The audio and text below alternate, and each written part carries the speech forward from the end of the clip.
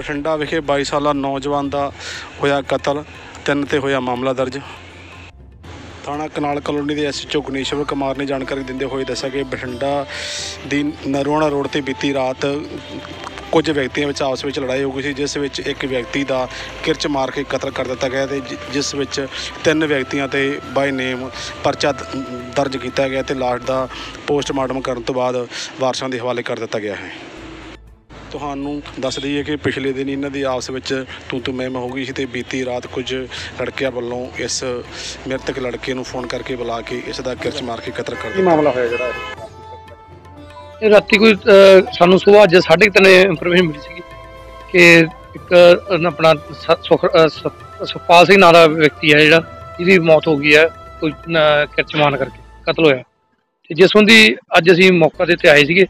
ਕੌਸਮੋ ਹਸਪਤਾਲ ਚ ਉੱਥੋਂ ਇੱਥੇ ਨੇ ਡੈੱਡ ਬੋਡੀ ਸਦਾ ਕਰਾਈ ਸੀਗੀ। ਤੇ ਉਹਦੇ ਚ ਮਤਲਬ ਕਿ ਮੁਕੱਦਮਾ ਦਰਜ ਹੋ ਚੁੱਕਿਆ ਤੇ ਹੁਣ ਅਗਲੀ ਕਾਰਵਾਈ ਕਿਸ ਤਰ੍ਹਾਂ ਕਤਲ ਹੋਇਆ? ਕੀ ਮਾਮਲਾ? ਇਹਨਾਂ ਦੀ ਪਹਿਲਾਂ ਕਦੇ ਥੋੜੇ ਦਿਨ ਪਹਿਲਾਂ ਆਪਸ ਰੰਜਿਸ਼ਬਾਜੀ ਕਰਕੇ ਲੜਾਈ ਝਗੜਾ ਹੋਇਆ ਸੀ ਆਪਸ ਉਹ ਇਹਨਾਂ ਰਾਜੀਨਾਮਾ ਹੋ ਗਿਆ ਸੀ ਪਹਿਲਾਂ। ਤੇ ਕੱਲ ਇਹਨਾਂ ਨੇ ਫਿਰ ਉੱਥੇ ਜਦੋਂ ਨਗਦ ਦੇ ਵਿੱਚ ਤੋਂ ਬੁਲਾ ਕੇ ਤੇ ਮਤਲਬ ਕਿ ਕਿਰਚ ਮਾਰ ਕੇ ਮਾਰ ਕਰਤੀ ਕਿੰਨੀ? ਇਹਦੀ ਉਮਰ ਹੈਗੀ ਕਰੀਬ 22 ਸਾਲ ਦੀ।